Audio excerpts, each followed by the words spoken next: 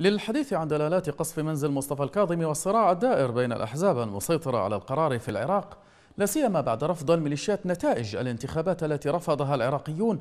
معنا الناطق الرسمي باسم هيئة علماء المسلمين دكتور عبد الحميد العاني. أهلا بك دكتور عبد الحميد. بداية يعني ماذا تعني حادثة قصف منزل رئيس الحكومة مصطفى الكاظمي؟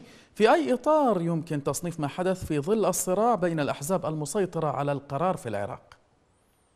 بسم الله الرحمن الرحيم. أحييك وجميع المشاهدين. مثل ما ذكرت في سؤالك هو في إطار الصراع داخل هذه العملية السياسية وهي بالمناسبة ليست المرة الأولى وقد تنبأ أو توقعنا هذا الأمر وذكرناه ونصصناه قبل أيام قليلة عقب هذه الانتخابات الأخيرة وذكرنا أنه يتوقع أن يتصاعد الصراع كما في كل مرة مرة من مفاصل هذه العملية السياسية في الماضي.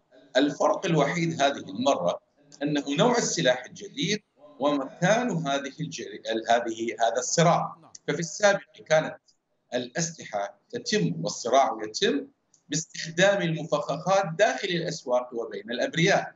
لكن اليوم قبل أيام طبعا لا ننسى أنه في ضمن هذا إطار الصراع قبل أيام حاولوا وقاموا بعملية وجريمة وانتهاك كبير في تهجير وقتل الأبرياء والآمنين في بعض في محافظه ديالة.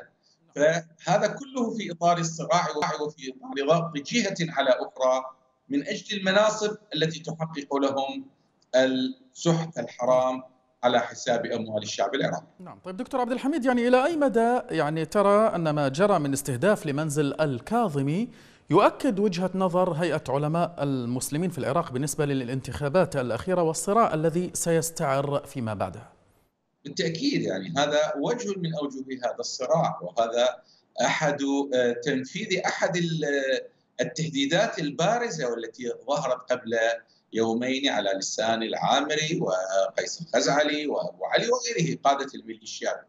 نحن ذكرنا في هيئة علماء المسلمين أن هذه الجهات لا تتوانى عن استخدام أي شيء في إطار الضغط فيما بينها البين على الآخر على الجهة الأخرى من أجل الحصول على مكاسب. وقلنا سابقا أن نتائج أو نتائج أو شكل الحكومة القادمة لا يحدده ما يسمى بصناديق الاقتراع ولا عدد الأصوات وإنما قوة هذا الطرف أو ذاك الطرف وما يمتلكه من أوراق ضغط بما فيها الأسلحة أو استخدام القوة بكل بمختلف أنواعها. لكن ما هي قيمة الانتخابات الأخيرة التي أجمعت الأمم المتحدة والحكومة أنها الأساس لاستقرار العراق؟ سؤالي هنا إليك دكتور عبد الحميد يعني هل يمكن بناء استقرار برأيك في ظل وجود سلاح الميليشيات؟ قبل ذلك يعني الأمم المتحدة التي اعترفت بهذه وبارك هذه الانتخابات وباركتها هي ذاتها اعترفت أنها من أكثر الانتخابات مقاطعة يعني أقل الانتخابات مشاركة وإقبال من قبل الشعب العراقي.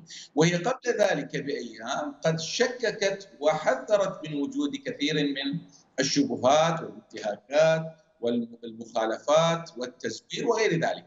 مع ذلك الجميع يدرك أنه هذه الانتخابات هذه وما سبقها باتت مجرد غطاء شكلي يتخذ لتبرير وجود مثل هذه العملية السياسية واستمرارها. واستمرار هؤلاء الفاسدين ضمن هذا المشروع الذي فرضه وأسسه الاحتلال الامريكي، لذلك رأينا الشعب العراقي في وعيه لهذه المسألة قام قد قام بمقاطعة هذه الانتخابات ليس تكاسلا وإنما اعراضا متعمدا عنها ومعلنا سبب هذا الرفض وهذه المقاطعة بأنه لا يعترف بها ولا يعترف بخرجاتها لأنها بنيت على أسس باطلة، لذلك نعم. الحل واستقرار الاستقرار في العراق لا يكون بهذه بالمناكفات فيما بينهم ولا بالمفاوضات فيما بينهم ولا بعقد الصفقات بين هذه الأطراف وإنما بزوال العملية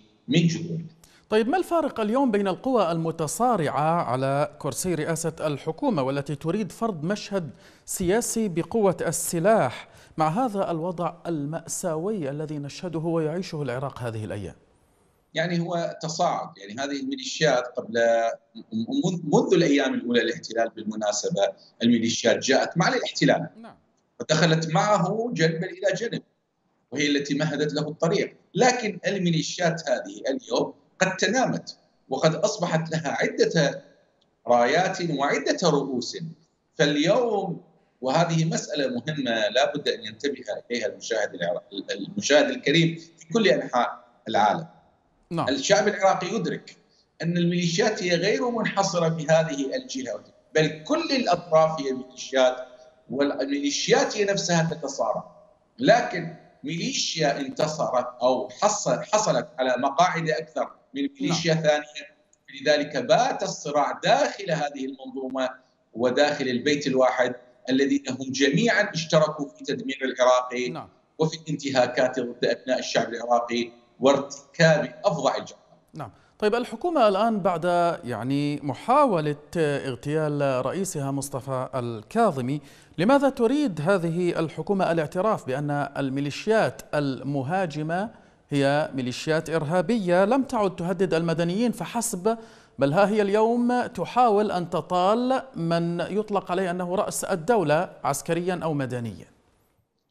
هذه الحكومة هي مجرد يعني أو تعترف بمثل هذا الأمر تعترف بأنها فاقدة للسيطرة نعم. وأن من يتحكم بالمشهد العراقي اليوم هو السلاح المنفلت الذي الجميع بما فيهم هؤلاء هذه الأطراف جميعا ينادي ويعلن أنها يج أنه يجب آه، حصر السلاح بيد الدولة كما يقال لكن الحقيقة هم جميعا مشتركون بمثل هذه الجرائم وهذه الصراعات وهذا الانفلات وهم جميعا يشكلون مثل كغطاء سياسي لحماية هذه الجرائم وهذه الانتهاكات نعم.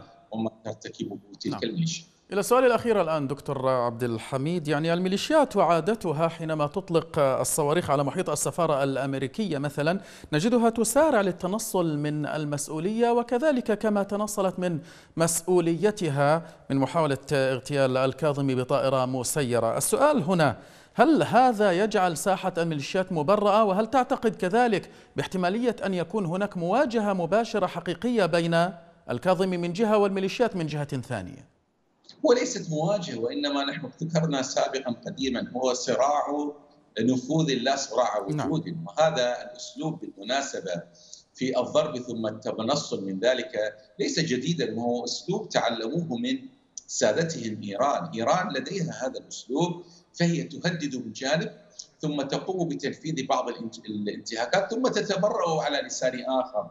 فهو أسلوب يعني يحاولون به الخداع والتنصل من المسؤولية لكنه الأطراف فيما بينها تعرف من المنفذ ومن الذي هدد ومن الذي استخدم فهي لا تخرج عن هذا الإطار إطار إبراز القوة ومحاوله لوي ذراع الطرف الآخر. لاجباره على تقديم بعض التنازلات لهذا المقعد أو لذلك المنصب أو لتلك المحاصصه. الدكتور عبد الحميد العاني الناطق الرسمي باسم هيئة علماء المسلمين في العراق كنت معنا عبر سكايب شكرا جزيلا لك